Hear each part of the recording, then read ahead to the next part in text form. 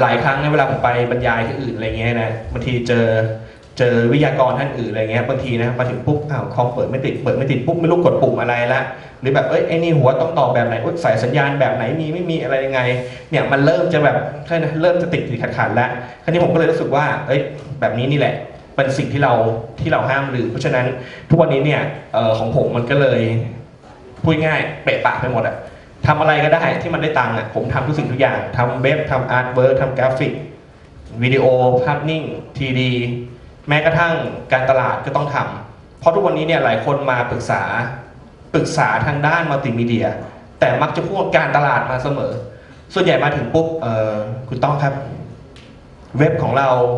จะทำยังไงให้คนเข้าเว็บเยอะๆครับ ถ้าพูดถึงคนทำเว็บเนี่ยนะจริงๆไม่ใช่หน้าที่เลย แต่ว่าพอเป็น consult ปุ๊บอะต้องไปนั่งดูหลักการตลาดเขาเป็นยังไงเป็นอะไรไงเอ้ยอย่างนี้ครับนี่ครับตรงกับแผนการตลาดเป๊ะเลย UAP ต้องเป็นอย่างนี้ครับนู่นนี่เพราะนั้นอันนี้เนี่ยเดี๋ยวอาจจะรวมๆไปแล้วกันนะย้อนกลับมาตรงนี้ครับกลับมาฟิสิกส์อีกครั้งหนึ่ง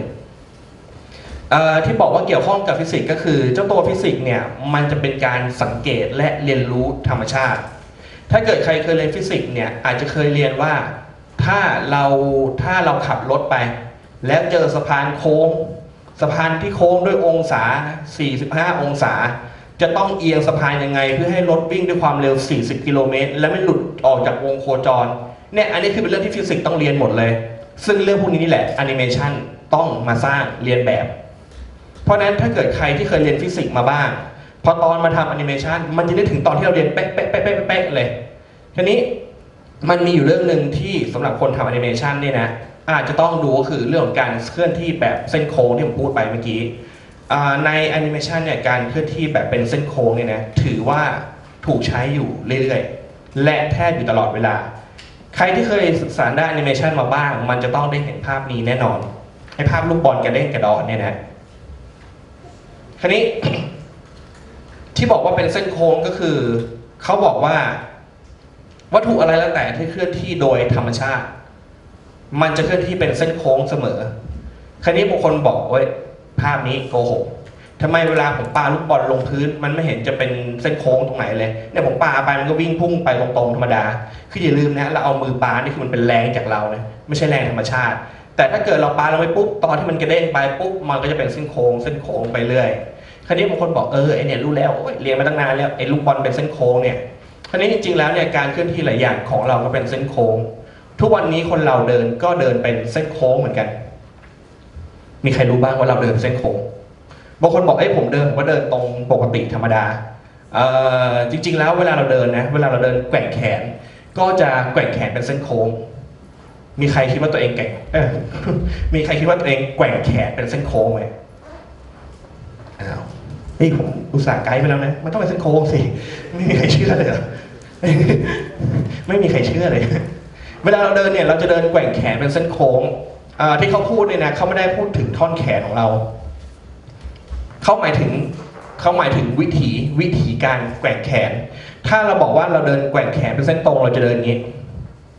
นี่การเดินแกว่งแขนเป็นเส้นตรง จะให้ทำยังทำยากเลยนะเดี๋ยวเนี่ยมันจะอย่างนี้แหละ นี่คือการเดินแกว่งแขนเป็นเส้นตรง เพราะฉะนั้นคนที่ไอ้พวกเต้นป๊อปปิ้งทำเป็นพวกหุ่นยนต์ละครใบ้ทำเป็นหุ่นยนต์ เวลาที่เขาใหญ่ให้รู้สึกว่าเป็นหุ่นยนต์คือเขาต้องทำอะไรได้ให้มันเป็นเส้นตรงอะขยับยังไงก็ได้ให้เป็นเส้นตรงทีนี้เราเดินแกว่งแขนเส้นโค้งคือแขนก็แกว่งไปเรื่อยๆอะซึ่งแน่นอนการแกว่งแขนแบบนี้เปิดไปด้านหลังมันจะเป็นเส้นโค้งแน่นอนคราวนี้นอกจากที่จะเป็นเรื่องของมือแล้วเนี่ย เท้าเราก็ยกเป็นเส้นโค้งขออนุญาตเปรียบเทียบกับพื้นที่ตรงนี้แล้วกันเนี่ย สมมุติว่าอันนี้เป็นพื้นสมมตินะสมมติอันนี้เป็นพื้น ถ้าผมบอกว่า เราเดินเป็นเส้นตรง มันจะต้องเดินแบบนี้โอ้โหนี่ครับตากล้องเริ่มจับแล้ว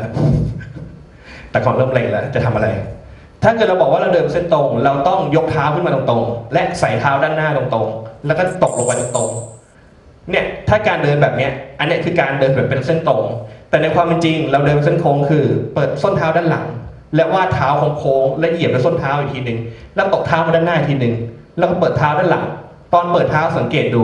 ก็เปิดเป็นเส้นโค้งอีกอะแล้วก็ยกออกมาเป็นเส้นโค้งอีก ตอนที่เอ่อตอนที่ Net Design เนี่ยนะเอ่อเวลาเขาสอนพวกคอร์ส 3D คอร์สมายาอะไรพวกนี้เนี่ยนะเวลาเขาเรียนเขาจะเรียนหลายครั้งเรียนเป็นสิบครั้ง มันจะมีครั้งหนึ่งที่รู้สึกยุ่งยากมากสุดเลย ถ้าเกิดใครเคยได้ทำงานพวกนี้นะเอ่อหลายคนรู้สึกว่า เวลาจะสร้างโมเดลทีมันยุ่งยาก แต่นั่นยังไม่เท่าไหร่ สิ่งที่ปราบเซียนคือครั้งที่ให้ใส่กระดูกเท้า คือไอ้ครั้งที่ต้องมานั่ง rig ใส่กระดูกเท้านิดๆหน่อยๆนี่แหละโอ้โหคือรู้สึกยุ่งยากจะทำยังไงให้เท้ามันเดินแล้วโอ้โหมันเนี้ยบมันเนียนเหมือนเท้าคนเดินจริงๆส่วนใหญ่เวลาเขาสอนนี่เขาท้ายไปสอนครั้งหนึ่งเลยทีเดียว เพราะฉะนั้นอันนี้เนี่ยบางทีนะอะไรที่เป็นจุดเล็กจุดน้อยพวกนี้นะบางทีเวลาเรามองปุ๊บมันมองข้ามมองข้ามไปใช่ไหมมันก็จะลืมพวกเนี้ย คือบางคนเนี่ยเวลาที่อนิเมตมานะหลายคนชอบมาถาม ผมอนิเมตมาแล้วครับทำไมมันดูไม่ค่อยเหมือนจริงเลยเนี่ยคือเรื่องเล็กน้อยแค่นี้เอง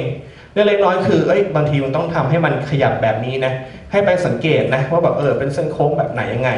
คือปัญหาส่วนใหญ่ของคนที่ทำงานทางด้านนี้นะโดยเฉพาะคนเริ่มต้นคือทำตามที่ตัวเองคิด แต่ไม่ได้ทำตามสังเกตอะไม่ค่อยได้สังเกตว่าสิ่งที่มันเป็นอยู่ในตอนนี้มันเป็นแบบไหนยังไง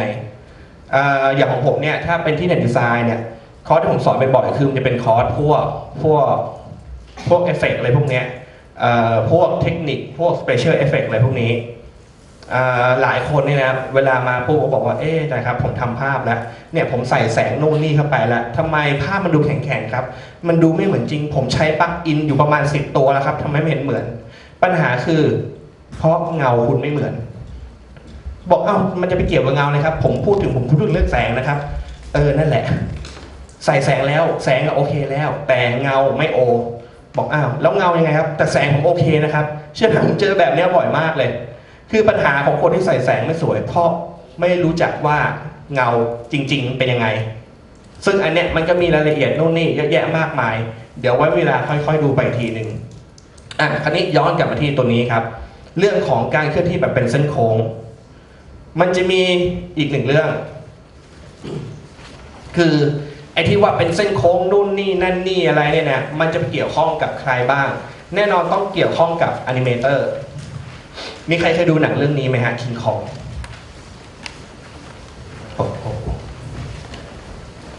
คือของผมเนี่ยจริง ๆ แล้วนะผมไม่ได้ดูในโรงนะแต่ว่า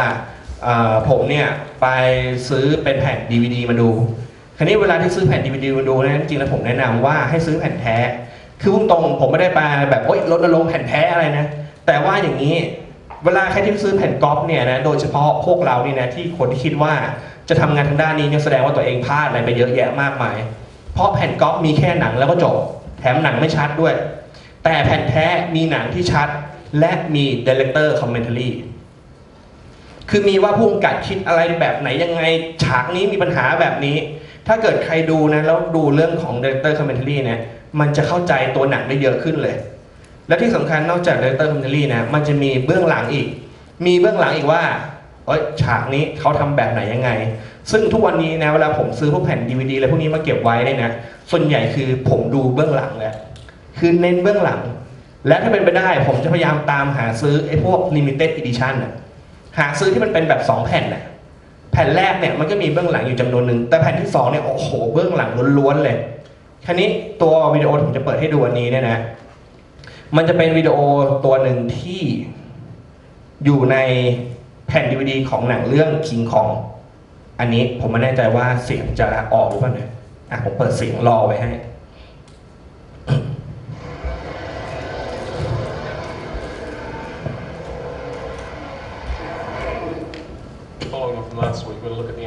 animation department, which is where a great deal of คืออันนี้เนี่ยเขาจะมาอธิบายว่าว่าเอ่อ October. ทีมงานที่เขาอนิเมตเจ้าตัวคิงคองเนี่ยเขาทำเขาเลยกนะเขาทำอะไรบ้างอะนะที่กว่าจะออกมาเป็นเจ้าตัวคิงคองแบบนี้ Trying to make this movie. คือก็อาจจะต้องมานั่งหาข้อมูลนะว่าเออไอ้คิงคองเนี่ยมีการอนิเมตแบบไหนยังไงบ้างอะนะลองดูไปก่อน Getting your animation, um, mocap, uh, which stands for motion capture, designed and created and explored on the mocap อันนี้ stage. เสียงดังกว่านี้ได้อีกนะเผื่อใครอยากจะฟังเสียงที่เขาพูดบรรยายกันเลยนะ Need to, to give Peter what he wants and the changes that he wants